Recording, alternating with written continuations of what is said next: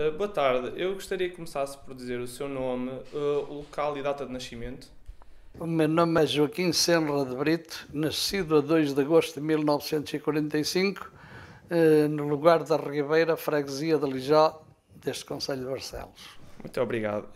gostaria também que nos dissesse que tipo de atividades cultural está associado e, e, e como? Eu estou associado a esta associação que se chama Circo Católico de Operários de Barcelos. É uma associação com 119 anos, faz agora, no próximo ano, em, abril, em outubro, faz agora em outubro 119 anos, precisamente, e desde aí pertence a umas outras associações, como pertence à Confederação Nacional das Associações, esta casa é precisamente o elo de ligação com a Confederação Nacional, onde temos uma equipa aqui a trabalhar dessa associação, representando Barcelos também, e outras associações, como teve na minha freguesia de Lijó, que criei, que foi uma associação Lijó Futebol Clube, eh, os, jogos, os jogos tradicionais em que criámos a primeira ideia de jogos para os presidentes da Junta, foi uma das novidades que, criadas por mim e que foi um sucesso. Eh, depois cheguei aqui e começamos a criar precisamente diversos grupos. O primeiro, a Banda do Galo, foi uma das criações que a fez em 1994, eh, em 24 de julho, e precisamente daí, com outros elementos que faziam já parte de uma antiga banda de Barcelos que se chamava a eh, Banda da Casa dos Rapazes, e esses já não eram rapazes, mas eram os homens mais adultos, e com eles fizemos precisamente a equipa e o lançamento da Banda do Galo. Claro, desde aí, da primeira nascença da Banda do Galo, temos corrido todas as juntas de freguesia aqui de Barcelos, todas as festas, participamos em todas as festas, na, eh, participamos em eventos cá e no estrangeiro. Eh, Devo-vos dizer que nesta altura fizemos umas sondagens e é a única banda no mundo que não há outra igual. Muito obrigado. Eh, e acerca da, mais inclusive da banda do Galo, qual é o papel que ela tem representado nestas festividades e nestes eventos que presencia?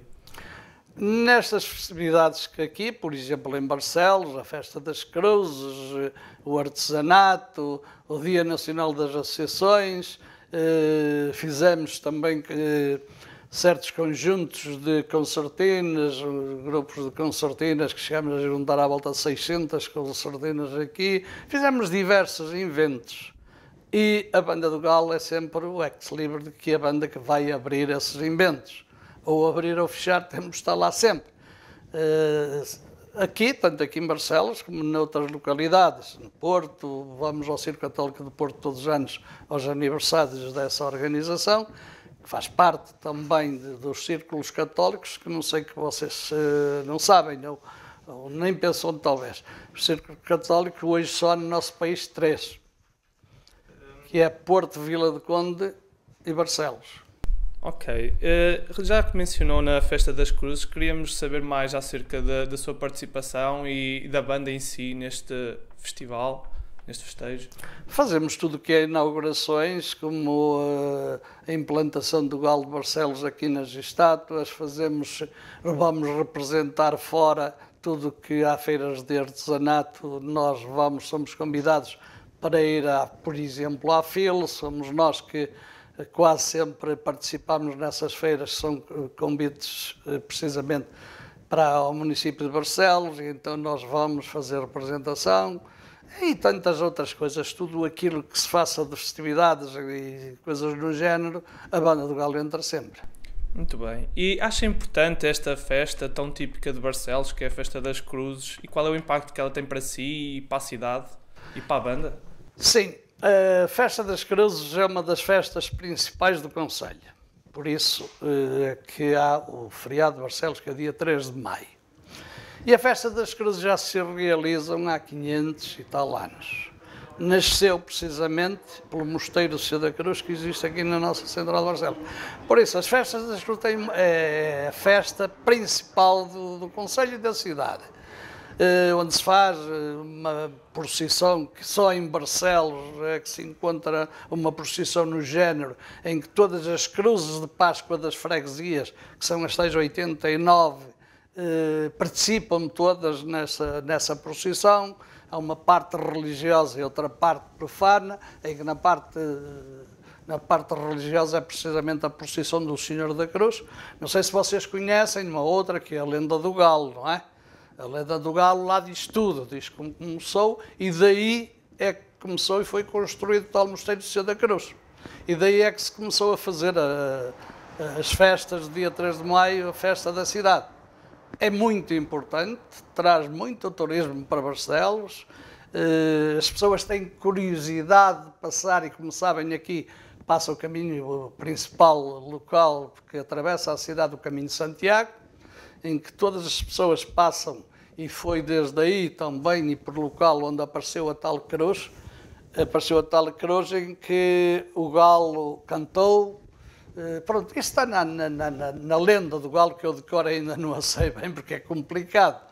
É um pouquinho complicada, mas é muito importante os forasteiros, os caminheiros de Santiago, todos eles gostam de passar por esses locais e então tem muita importância. Então, na festa das pessoas é o máximo.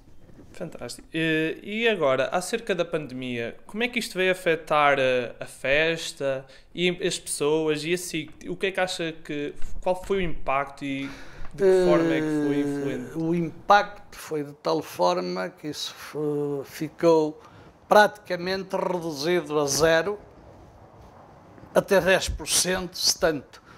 Pararam as associações, o caso nosso, estamos parados praticamente há dois anos, porque as saídas não eram autorizadas, não se poderia, agora estamos a começar a dar os primeiros passos, a voltar a organizar, como sabem, num período disto, tudo que são tudo que são organizações que têm pessoal, escolas de música, isso praticamente teve parado, está parado ainda, só estamos agora a retomar, a colocar mais músicos, porque alguns já deixaram, por motivo de epidemias e essas coisas. Foi muito difícil aguentar e suportar as despesas até de uma casa, assim como a nossa.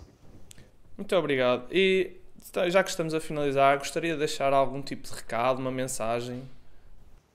Eu gostaria de deixar uh, uma mensagem a todos os barcelenses que ajudem Barcelos em todos os pontos, quer culturais, desportivos, desenvolvimento, porque nestes anos de crise parou completamente.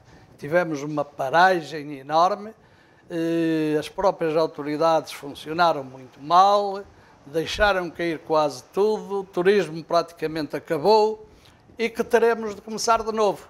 Aqui deixo um apelo a todas as associações, quer as que fazem parte com nós, quer o próprio município de Barcelos, quer toda a gente que ajude em Barcelos a chegar ao, ao local que esteve há 50 anos atrás.